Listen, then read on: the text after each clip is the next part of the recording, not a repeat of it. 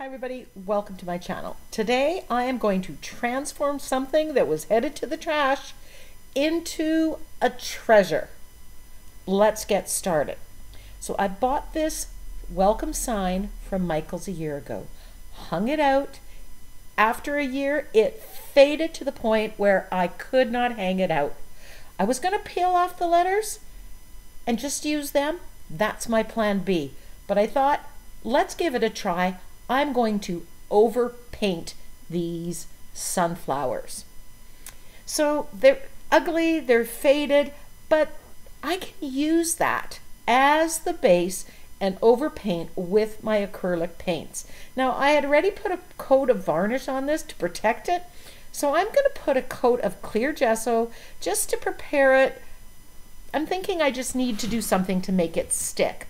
And then I'm just getting out my various colors. I've got quinacridone magenta, I've got yellow oxide, and I'm going to overpaint, use the kind of outline of the sunflowers and paint them. Now, this sunflower on the bottom and the one that you see that I've already done, I am just taking the paint and mixing it, a little bit of yellow oxide, a little bit of magenta to get the various colors that sunflowers come in. I'm not really particularly worried about whatever color it was underneath because, well, that's faded and gone. So I get to remake this my way. Now, as I'm putting this on, I when you're looking at it here, a lot of the detail is gone. But remember, we're going to come back and add highlights and shades and bring it to life. And really, this sunflower right here is the worst one. As I go, I'm figuring it out what I would do. And in a minute, I'm going to show you what I would do instead of just putting the acrylic paint right on top. Now this one's kind of squished and you know, truthfully, when, by the time it's all done, it looks just fine. But we're going to add a lot of detail. I like using an angle brush. I find it gets into nooks and crannies and it gives me a lot of control as opposed to a flat brush. And again, my when I buy brushes, I'm not buying particularly high-end or expensive ones. This one comes from Michaels. Now for the center of the sunflower, I'm adding a little bit of black to the burgundy. Now I'm just mixing the colors as I go. I'm adding a little bit of yellow oxide in there. I want variation because that's what really, really matters. So if you've got a sign that is faded, that you don't like the colors, try what I'm doing on this sign it's well worth it. Sometimes you can get those at Dollar Tree and the colors just aren't what you want, but you can remake it and make it uh, exactly the shades that you want with the tips. Putting the clear gesso on absolutely worked here. To take off that shine that was on the sign. I've had no problems with the paint chipping or coming off. Now I've painted the leaf, but again, with that leaf I have, it's Hooker's Green, and I'm mixing in that yellow oxide. That yellow oxide I mix into all the various colors, and that helps make a nice tone. Now here, I start painting the leaves, and I'm getting out some gesso, white gesso this time, and I'm painting on them, and it occurs to me that I can give whatever pattern is there, a coat of white gesso first, and then use basically the outline and fill that in. And I'm really liking that effect better than just putting the paint on top. So that's what I continue doing. Here again, I'm putting gesso with my angle brush on top and then I'm going to come back in with the colors. And by muting whatever was there, even though it's faded, I'm able to get better co coverage and better colors are going to shine through. They're not as dark. You'll see me putting white gesso on the tips of the sunflower. And then when I put the color on, that allows those colors to be brighter. Now this one I'm mixing the yellow oxide with a little, little, little bit of the magenta. So each sunflower, I'm changing the tone from yellow to yellow gold to yellow rose to more burgundy. But because the same basic colors are being used, that all works together.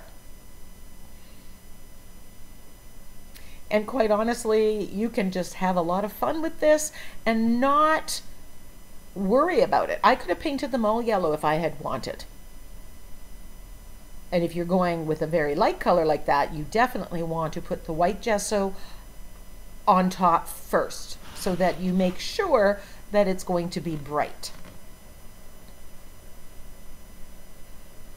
You can see my palette. I've just got all the colors there and I'm pulling a little bit of this and a little bit of that.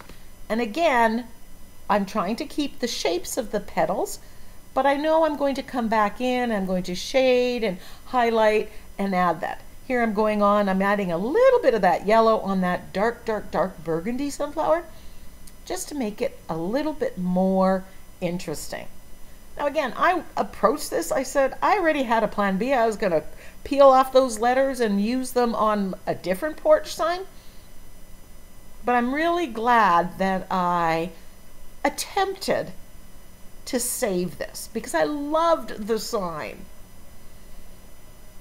Here I'm putting on the white gesso in the center, knocking back that dark, and then coming in with the center. Now a lot of this I am not keeping the all the footage because you don't need to watch me do all of it.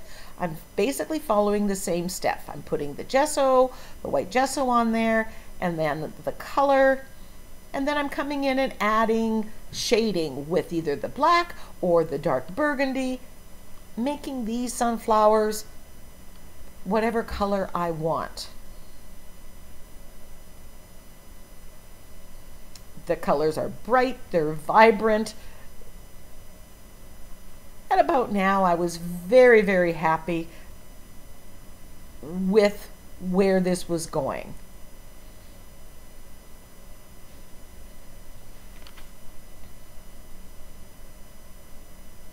Now these letters are wood that have been glued on, but you can buy letter stencils that are this size to go on top of. And I'm going to do some porch signs where I'm going to do that. I'm going to start from scratch and make some porch signs. I want a porch sign for each season at the very least. So I painted in the center. This time I painted it yellow. And here I'm doing the leaves first with the gesso and then coming back in with the mixed colors.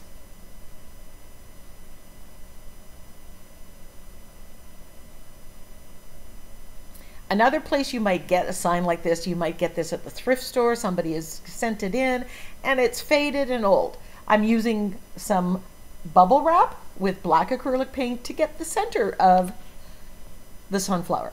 Loving that effect. Now this fern leafy thing, I'm using my liner brush. I'm thinning the paint and I'm just painting it in. Now that I believe I mixed a dark green here.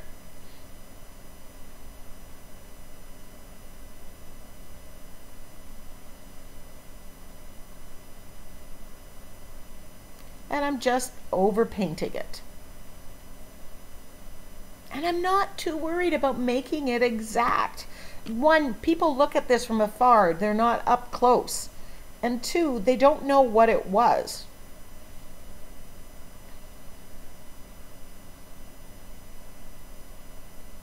Just do one pet flower at a time, one leaf at a time, just step by step. I do what I think is easiest first, and then as I gain confidence and figure out what I'm doing, I'm happy.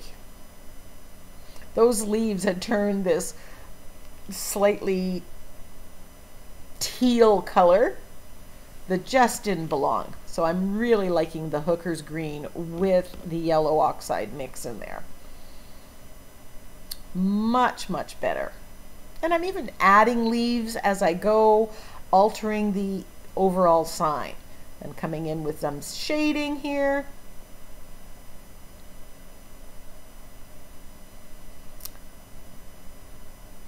Brayering on some paint and then using the bubble wrap to get those that center. Loved how that detail worked out. In the end, you'll get pictures of the whole sign so you can see all the flowers and how that works and all the colors. I've even um, already hung out my autumn wreath, sunflower wreath, that goes so really, so well with this sign. I really love fall and sunflowers, so this was just a complete win for me. Here's the yellow, the sunflower. I'm keeping some light centers. I did some dark.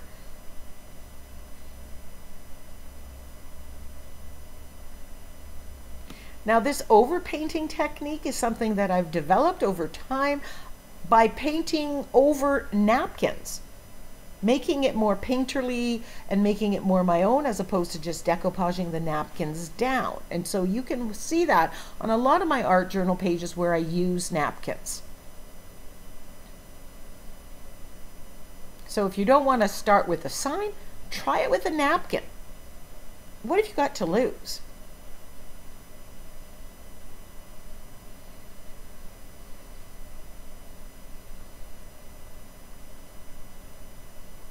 The key was is having a lot of variation in the colors.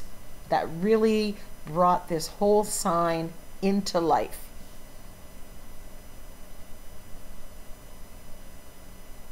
And because, again, I've used the yellow oxide and basically the yellow oxide, white gesso, quinacridone magenta throughout, and I've mixed them to get different tones. So they all go together because they all come from the same basic colors. My color palette is very limited.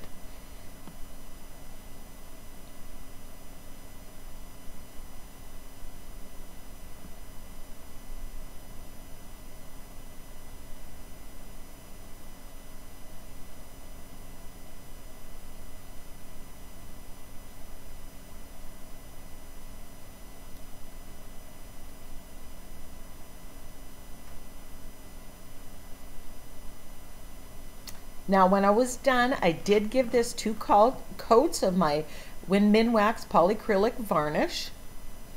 Hopefully, and I'm sure that it will because I've put things that I've painted in the sun and they have lasted definitely longer than one season.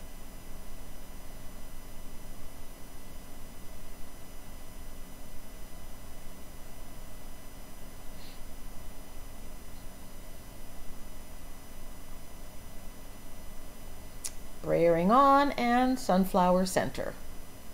And I wasn't too worried about making it just perfect on that circle.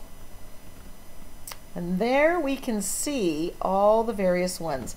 Now the letters didn't seem to go so well. I needed more contrast with what I had because the colors were so vibrant.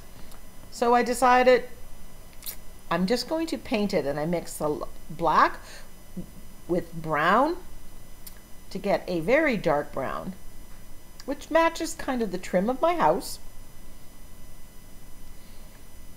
And then I just painted those wooden letters to, to be darker. And I think I like that contrast a whole lot better.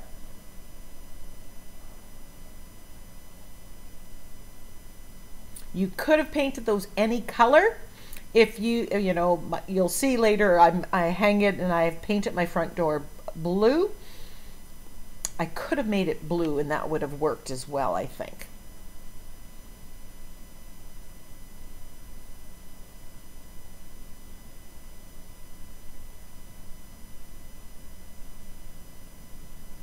Now, if you were putting this sign from scratch and you had wooden letters, you would paint them before you glued them down. That would make, make it easier.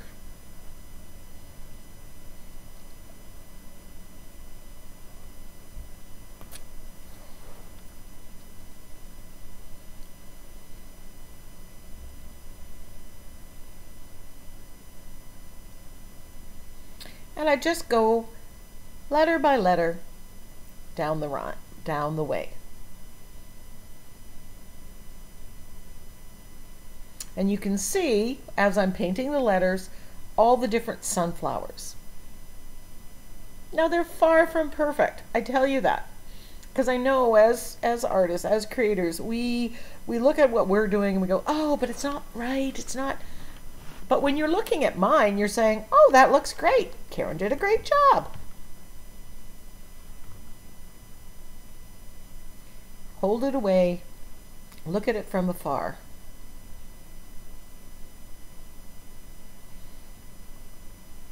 What do you think of the darker letters? Do you agree that that works better?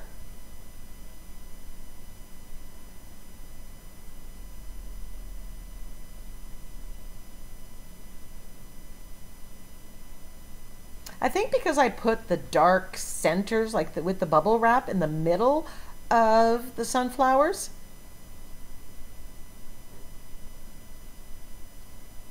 that I needed the darker.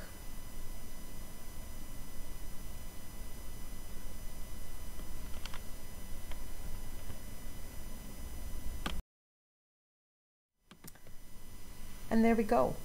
It is all painted. Once it's dry, gave it a couple coats of varnish.